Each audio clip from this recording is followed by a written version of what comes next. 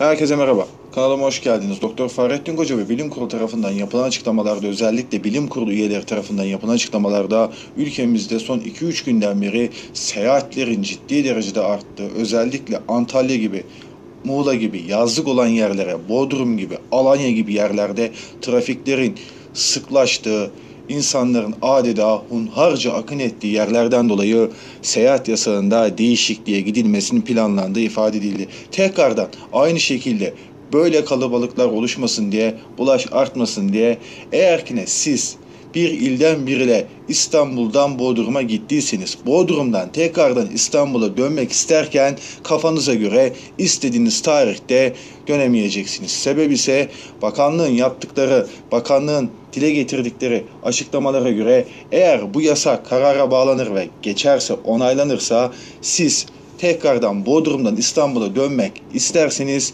bakanlığın belirlediği tarih dışında dönemeyeceksiniz. Örneğin Bugün 30 Nisan'da Bodrum'a gittiniz. İzin kağıdınız, izin belgeniz, her şeyiniz var. Tatiliniz bitti ama siz 5 Mayıs'ta dönmek istiyorsanız bakanlık buna hayır siz 7 Mayıs'ta döneceksiniz derse 7 Mayıs öncesinden dönemeyeceksiniz. Tabii ki buna bu şartlı mecburi dönüş kademeli dönüşe hariç olan kısımlar var. Bunlar hastalık yüzünden gitmek zorunda olanlar, ameliyat sebepleriyle gitmek zorunda olan, olanlar, bunlar muaf tutularaktan bir otelde rezervasyon yaptırıp izin belgesi alanlar da maalesef artık kafalarına göre İstanbul'dan Bodrum'a gittiyse Bodrum'dan İstanbul'a geri dönüşte bakanlığın belirlediği tarih dışında dönemeyecekleri şeklinde genel olaraktan bir seyahat yasağının planlanacağı ifade ediliyor. Bu da artış gösteren mutasyonu engellemek amacıyla